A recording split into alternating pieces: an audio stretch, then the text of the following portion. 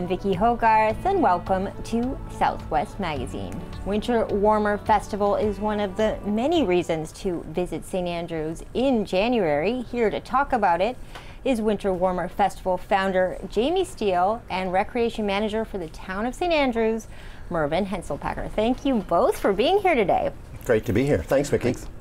Since you are the founder, Jamie, let's start off by talking about for people who might not be from St. Andrews who aren't as familiar with Winter Warmer Festival as we are. Tell us a little bit about the backstory, how it became a festival, and what it's all about. Okay. Um, so really, I think it started uh, in a uh, around a kitchen table with uh, Ryan LeBlanc who is a St. Andrews musician who I used to work with. Uh, Ryan toured internationally, and and we'd often go to these um, conferences, music conferences, where he would showcase, or you know, there'd be music industry people there, and they often occurred in big hotels, and um, they uh, the the conference would take over a hotel, and often on the top two floors there would there would be the hotel rooms would be devoid of any hotel furniture, but uh, musicians would occupy those spaces and uh, do do showcases, do short shows, and the music industry people would come through to sort of look at that. And Ryan and I got talking about, oh, wouldn't it be kind of cool to do a, a whole festival, not just a conference, but a festival that people could, the public could come to.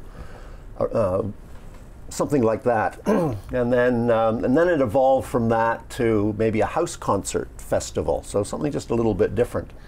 And uh, thinking that you know St. Andrews is a wonderful place to come, as you said, no matter what time of the year. But not much you know goes on to attract people in in the winter months. So we decided that maybe it would be a, um, fun to try to to inaugurate some kind of a music festival at, at that time of year. And um, we did try to, uh, we, we, felt the, the hotel, the Algonquin, probably wouldn't be up for um, the kind of uh, uh, event involving the hotel in that way that, that we initially thought. And then the, the house concert festival idea was, um, was problematic on, on a few fronts. And then we just, we moved to um, creating uh, a smaller venue festival, more or less. And, and uh, winter is a time where we like to congregate indoors, cozy. Um, I mean, outdoors too, if we can, but often we can't rely on the weather. Um, so the idea of a smaller um, venue festival with maybe one big event over the course of a, a weekend, and um, you know, try to attract uh, high quality artists to come and um, and participate in this kind of a, a, winter event. And so in 2012, I think we, we held our first one, and um, it was it was successful. And we just uh, you know I just kept you know moving along, and over time it's evolved uh, a little bit. Um, we now. Um, uh, as of last year, uh, after a two-year pandemic pause, we came back, and people were really kind of wanting to have an, uh, an event uh, or something within the winter warmer event that would uh, get people out and dancing. A lot of the because a lot of the venues were smaller, they were always you know people would come and sit and listen to music, and, and, and that's wonderful. But people really felt the the urge to get up and do something a little bit more. So last year we had two larger events. on the Friday night we we had a big event at the hotel. Uh, with the hypochondriacs, so it was kind of a dance and then another larger event um, at the Aquarium Theater, which uh, you know uh, we've we've sort of uh, uh moved the uh, or winter warmer is um, part and parcel of uh, the the concert series that Luke McDonald and I are doing throughout the fall and winter. So. Um, so we have you know two large events now over the course of the weekend, plus a number of smaller musical events in smaller venues like Honey Beans and the Gallery at Sunbury Shores, um, the Anglican Church Hall, the Brew Pub, the, the, Red Herring, and hoping to bring on a couple of other uh, uh, local businesses to, to participate in that. So it's uh, it's basically a weekend, you know, a Friday, Saturday, Sunday, uh, full of that, and uh, every year we, we add a little bit new. So. Um, you know, we, we, we create a, a situation whereby we start probably uh, 4 o'clock, 4.30 on the Friday, and we try to stagger the, the events that we have uh, offered, the music events that we have offered, so people can move from one to another and then uh, capping each night off with a larger event. So, so this year that, that we've sort of followed that same pattern with uh, a whole range of, of uh, music and artists. I know Merv. In a few minutes, we'll talk to Merv about what else we can expect the complimentary events that fit around Winter Warmer. Right. But I loved. I mean, this is the first time I'm going to say 2024 on the show, which is crazy to think it's around the corner. And this will be Winterfest 2024. What are the dates of this year's festival, and what are some of the highlights and the, the roster of artists right. coming? Right, right. So it, it's uh, it's always the end of January. Um, so the 25th, which is a Thursday, we're going to kick off uh, uh, on a Thursday this year, and and uh, there won't. Well, there'll be there'll be some music, but it. Um, um, but the town has come on board to do a winter carnival uh, portion for the weekend, so we're rounding rounding the whole winter warmer festival out a little bit. But the music uh, really gets going on the, on the Friday. Um, we have uh, starting off on the Friday a, uh, a new First Nations band from Fredericton called Hello Crows. Um, who will be, be coming down and making their uh, St. Andrew's debut playing at, at Sunbury Shores. Uh, it's an early show, I think, uh, starting at 4.30, I think, on, um, no, sorry, starting at 6 p.m. at Sunbury Shores on the Friday afternoon. And then, or Friday evening, and then moving to um, um, uh, the Anglican Church Hall, where uh, Juno Award winner Garrett Mason, who's an incredible blues player, uh, son of uh, the iconic Dutch Mason, who uh, is no longer with us, but Garrett has been to St. Andrews a number of times and always a favorite. Um, and then a big show that night at the Algonquin featuring Grand Theft Bus, which is a well known New Brunswick based. Um, improvisational, progressive, rock, jazz, wh- whatever you want. I mean, they do it all and um, well known and, and well loved. So that's the Friday. Saturday, we'll start things a little bit earlier in terms of music. A gang at Sunbury Shores. There'll be um, a local band, uh, Yellow Blue, they're known as, because they actually can't. They really haven't come up with their definitive name yet. So uh, they decided on yellow blue after playing a show or before playing a show last year at Sunbury Shores, and they've just sort of kept it. It's a project of David Norris, who's a musician, uh, has recorded a number of albums, and has just gathered a bunch of his friends actually from from town here, um, and uh, a really fun fun unit, five piece um, band. They'll be playing uh, Saturday afternoon at Sunbury Shores. And then moving on, we will be doing some things at, at Honeybeans later that afternoon. I think some comedy. Um, and then the, the Anglican Church Hall a gang uh, over the uh, over the dinner hour. We are serving food as well, um, and the show there with um, Stephen Lewis and Bobby Mahar. Stephen's a well-known uh, sort of uh, gu- guitar player, does a lot of looping in, in the work that he does, funky music, but he's teamed up with Bobby to do a Dave Matthews, Tim Reynolds tribute show. So if anyone's a Dave Matthews fan, this will be a, a cool, cool show. And then the big show that night is at the Aquarium Theater with uh, J.P. Cormier and Dave Gunning, who are two outstanding East Coast artists. And then the Sunday, um, we have a, an interesting uh, uh, event just happening to coincide with Winter Warmer, so we've involved them. Chris Kirby, who's a well known Newfoundland musician who's living in Nova Scotia, he's a music producer. Um, he plays with Matt Andersen. Um, so if you saw Matt this past summer at Kingsbrae, Chris Kirby was there playing with him on keyboards. But Chris works with a lot of young musicians, and he's um, actually hosting a um, a music residency for young musicians over the course of that weekend and into the week. And um, he's got a couple of local uh, musicians who are coming to learn the craft of songwriting.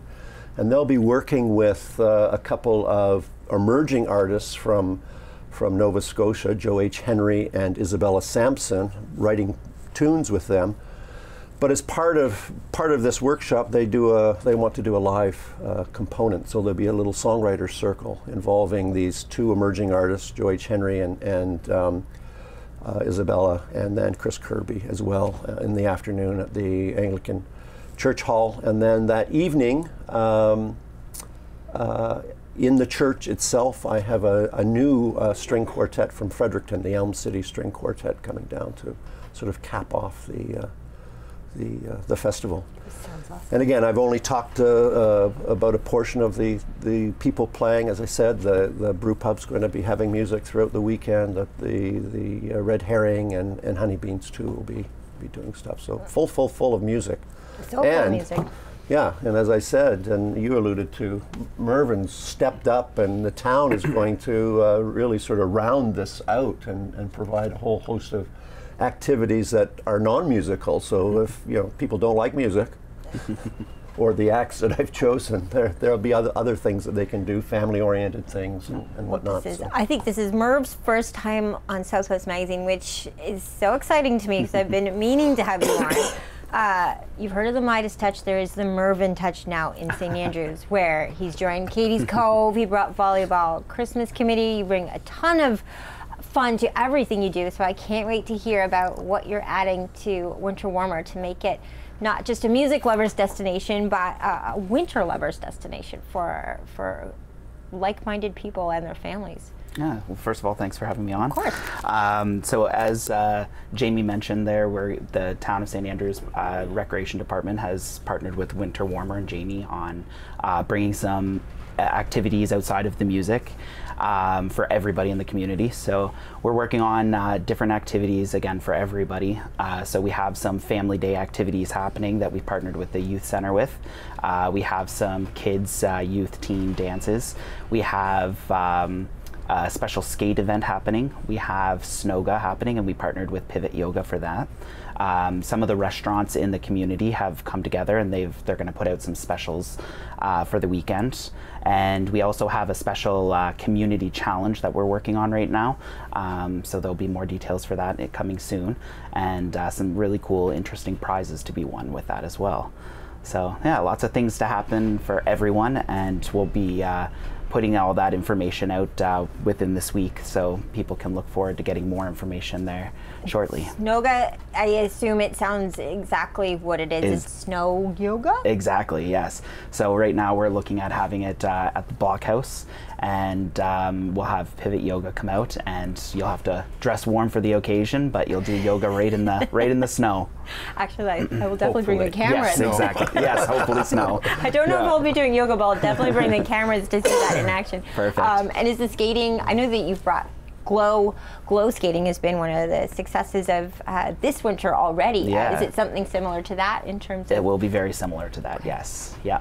Some different uh, activities will be happening uh, to make it a little bit different, but uh, people can expect it to be very close to uh, the glow skating. which adds to I know that one of the neat things about Winter Warmer is it really showcases the venues of St. Andrews. We're so used to celebrating what's beautiful outside here in the summer months, but this really showcases what's beautiful about a lot of indoor life here in St. Andrews. Was that part of the motivation for for creating this festival? Well, I think it was really uh, motivated by you know just trying to provide things for people to do at a time when you know we're always complaining, um, and uh, you know we all can't go away. I, you know I love winter, and and uh, you know if it's I like winter to be winter, and sometimes it's not, and uh, so you kind of get down. And if there's some kind of activity that might help bring you up, you know, and for me, music does that. And I, I just, you know, we, we have such a rich tradition here in town of live music, and it's growing and growing. I mean, um, you know, with Kira now, with uh, Paddle Fest uh, being as large as it is, um, with the, the concert series that we're, uh, Luke McDonald and I are running in the fall and winter, um, you know, St. Andrews Arts Council, opera workshops. I mean, that's, you know, almost 40 years of opera workshops in town here. I mean, it's, it's really quite amazing. So, you know, I think St. Andrews has sort of developed as a, as a go-to place for, for music in, in a way. And, and uh, you know, it's often just the fair weather months that see that. So uh, you know, there's been a little bit of a, a move towards winter festivals. So we sort of uh, yeah began to tag on the coattails of uh, In the Dead of Winter Festival in Halifax that started a couple of years before Winter Warmer. Shivering Songs in Fredericton, which is always a week before Winter Warmer, and um, and yeah, it's it's starting now to be recognized, and people are coming to town just because there's something happening here. So yeah, so and yeah, I mean by default, you know, we have we have a, a wonderful resource in in the town. You know, the town is a wonderful resource, Absolutely. and uh, it's beautiful in winter as well. I feel like people are, for for good and for bad, catching on that we're a great destination 12 months of the year. Or do you find, Merv, when you're fielding comments from maybe not the locals, but that you're, we are getting busier in what we used to call the off season? Yeah, absolutely. Me personally, I've been so busy this month, like just working with hockey and the different groups that are here right in the arena. And we've got so many uh, different uh, activities going on this winter, so it's definitely kept me very, very busy.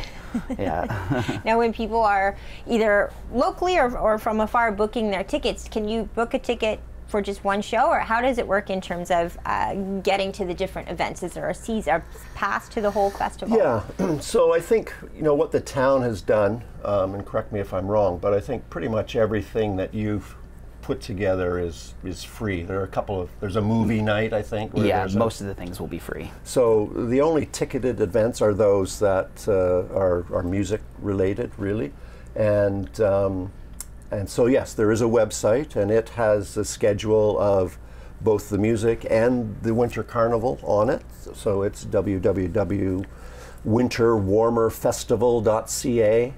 Um, so if you go there, you, you can you, you can see a schedule of everything that's happening, and if uh, there, there's a ticketed event, there's a link to a, a ticket site, a ticket platform, and uh, you can buy individual tickets for each of the music shows that uh, that have tickets. Some of the shows are free or by donation. Um, so we have a, a range that way, and there are a limited number of festival passes, which will get you into all the ticketed events. Save, I think the that uh, emerging songwriters circle is not in in that package, but um, um, but virtually everything else else is. So uh, I know you're a huge part of this, uh, as is Luke McDonald in St. Andrews becoming this music destination. Right. think of Paddlefest as the unofficial kickoff to summer, Summer, yeah. and then Winter Warmer as one of those events that keeps us going in, in those colder months.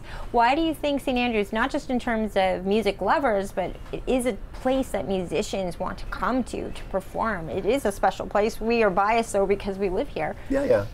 No, I think it's um, you know it's a it's a great place. I, I uh, to come just to visit, but I, you know, there's a there's a hospitality here, a welcoming uh, feeling here. Um, you know, and I think you know just over time, there's just been this history of of workshops of. Um, uh, you know, uh, when I was at when I had Salty Towers, we uh, there was just this this camaraderie that built up because there were so many musicians coming through and staying there. It was all, it was just this uh, you know sort of perfect storm sort of element that happened back in the in the late mid to late '90s, and um, and uh, you know.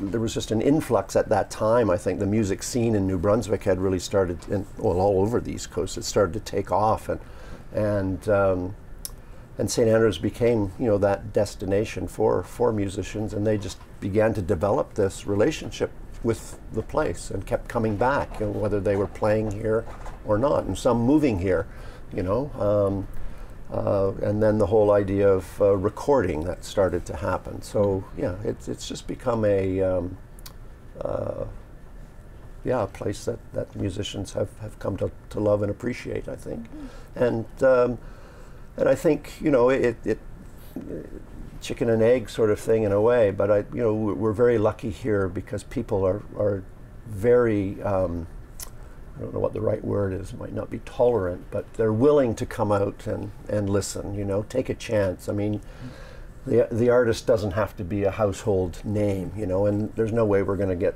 Taylor Swift here, to perform anyway. So uh, you know, but uh, I've always been a proponent of the idea that some of the best music you're going to hear is by people that you've never heard of before.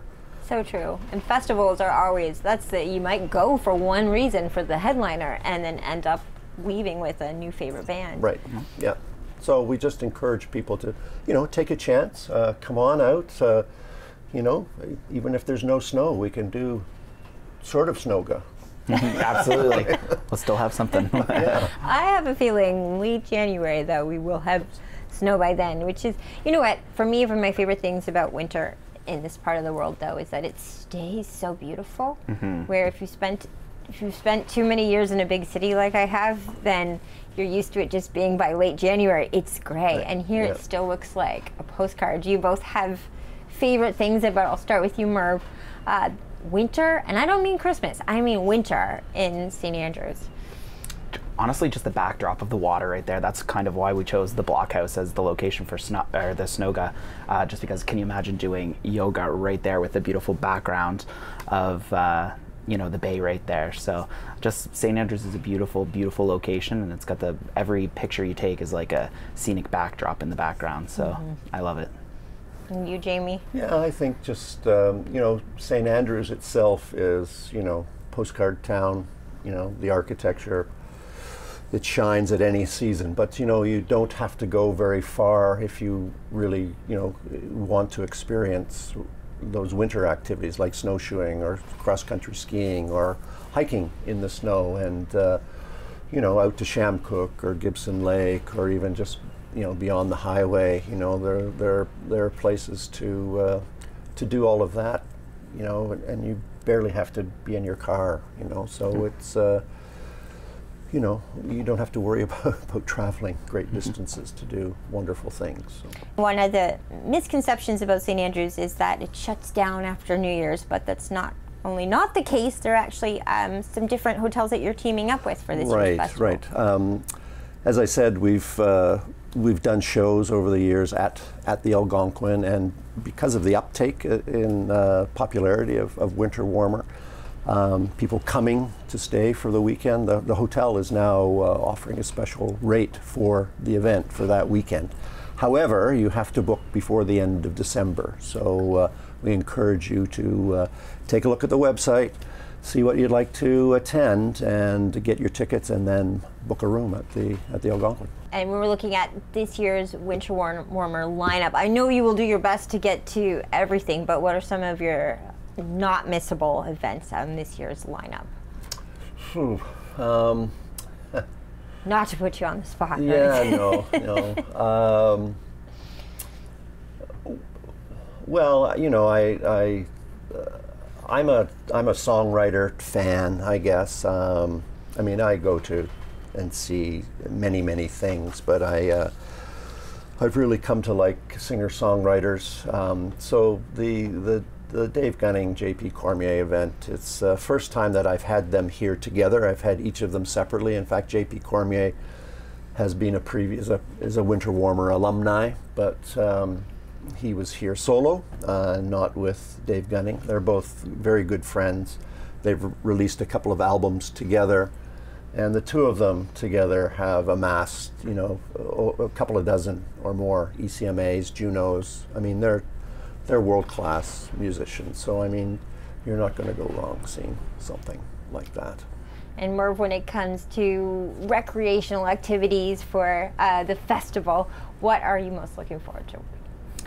I'm excited for some of the, the what the restaurants are going to put on. There's going to be some great food though for the weekend, um, and I'm most excited for the challenge, the community challenge that we're doing. So uh, it is it's going to hopefully fingers crossed there will be some snow. But what we're looking at doing is uh, doing some snow sculptures in your, in your front yard or in a community park, and people who want to take part in it can go ahead and build something uh, some kind of uh, snow sculpture, and uh, when they're done, they'll take a picture and send it to us to enter into for some prizes. So I'm excited to see what people can uh, build there and how creative people will be. So, All right. Well, Yeah. if Christmas is any indication with the lights, I think we're in for a oh treat. yeah, absolutely. I've also just remembered too that uh, Cove Nordic Spa out in Bocabec have come on board too to be part and parcel of it all too. So uh, winter spa uh, activity on And it. it's a pretty special place. So Yeah, yeah, it's yeah. So great they're going to have we're going to have music uh, out there. So, so probably on a,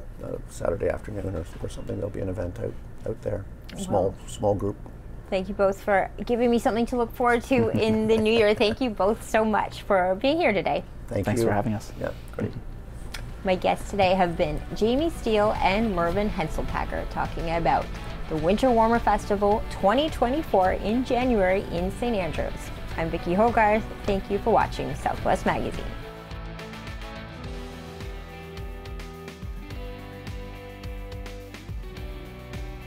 Southwest Magazine is a news and public affairs production of CHCO Television.